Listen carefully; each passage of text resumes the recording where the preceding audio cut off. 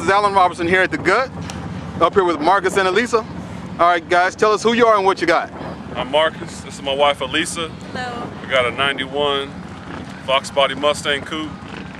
Uh, we love it. We sweat, put all the money into it, and we thank God that we get to enjoy this together, race, try to win. We learning, but we coming for whoever. Where are you from? From Garland, Texas. Garland, Texas, G-Town. Yes, sir. All right, thanks a lot, guys. Thank Y'all hear that? He racing for God. All right, this is Marcus and Alyssa's Mustang, 91 Mustang Coupe. Just ignore the little bit of spray in there.